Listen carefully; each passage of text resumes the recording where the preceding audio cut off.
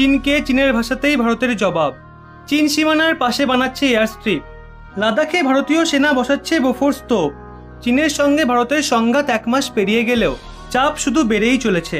Line of actual control থমথমে। তবে চীনের মুখোমুখি হয়ে প্রত্যেকবার কড়া প্রত্যাঘাত ছুড়ে দিচ্ছে ভারত। আর এবার এলএসিতে শক্তিশালী বোফোর্স আর্টিলারি ইনস্টল করছে ভারতীয় সেনা। লাদাখে দীর্ঘদিন ধরেই ভারতের ওপর চেপে বসতে চাইছে চীনা সেনা। ভয় দেখাতে ভারতের সীমার ভেতরে ঢোকার চেষ্টা করলেও তা সফলতা দেয়নি দেশের সেনাবাহিনী। চীন সীমান্তে পাঁচ হাজার সেনা মোতায়েন করলেও ভারত রেকর্ড সেনা মোতায়েন করে শক্তি প্রদর্শন করেছে। এবার চীনকে মুখ থুবড়ে ফেলতে আরও তৈরি ভারত। চীনকে টেক্কা দিতে এবার শক্তিশালী বোফোর্স ইনস্টল করা হচ্ছে। শুধু তাই নয়, রাস্তা এবং ব্রিজ নির্মাণের কাজও আরও দ্রুততার সঙ্গে হচ্ছে। পাশাপাশি জরুরি জেট অবতরণের জন্য তৈরি হচ্ছে এমার্জেন্সি ল্যান্ডিং পি। তাই ভারতের সঙ্গে খণ্ডযুদ্ধে সামিল হলেও শুধু মুখে ছেড়ে দেওয়া হবে না ভারতকে। তেমনটাই বোঝা যাচ্ছে। লাইন অফ অ্যাকচুয়াল কন্ট্রোলে প্রতি মুহূর্তে উত্তেজনার পারদ চড়ছে। গত কয়েকদিন ধরে এলএসির কাছে লাদাখে চোখে চোখ রেখে দাঁড়িয়ে আছে দুই দেশের সৈন্য।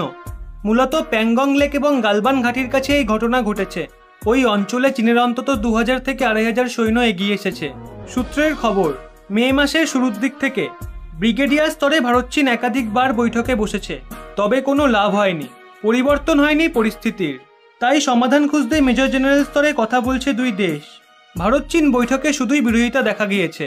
চীন শুধুই ভারতকে কোণঠাসা করার চেষ্টা করছে মূলত ডিবিও সেক্টরে, অর্থাৎ যা কারাকোরামের কাছে, যেখান থেকে ভারত চীনের লাইন অফ অ্যাকচুয়াল কন্ট্রোল শুরু হয়।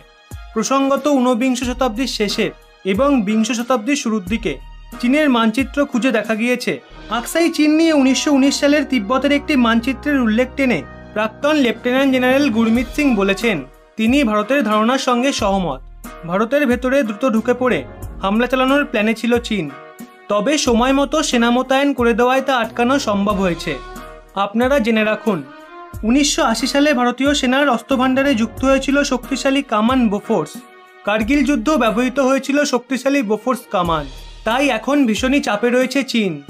আবার অন্যদিকে কিছুদিন আগেই হাইড্রক্সি ক্লোরোকুইনের ট্রায়ালে প্রতিবন্ধকতা আনা চীনের দালাল ডাব্লিউএইচও এখন আবার হাইড্রক্সি ক্লোরোকুইনকে গেম চেঞ্জার বলছে। এটা আসলে হচ্ছে কি? এত বড় একটা সংস্থা হয়ে এভাবে মানুষের জীবন নিয়ে ছিনিমিনি খেলছে, যেই মুহূর্তে চীনের ওপর ইন্টারন্যাশনাল প্রেশার আসছে। ঠিক তখনই চীনের এক একটা সিদ্ধান্ত পাল্টানোর সাথে সাথে ডাব্লিউএইচওরও সিদ্ধান্ত পাল্টে গেল। বাহ, অসাধারণ। এখনও কি আপনারা কিছু বুঝতে পারছেন না? যদি বুঝে থাকেন তাহলে অবশ্যই কমেন্ট করে জানান। ভিডিওটি ভালো লাগলে অবশ্যই একটি লাইক করে সকলকে শেয়ার করে দিন। এবং এরকমই নিত্য নতুন তথ্য পেতে রহস্য বাংলা চ্যানেলটি সাবস্ক্রাইব করে পাশের বেল আইকনটি অল করে রাখুন।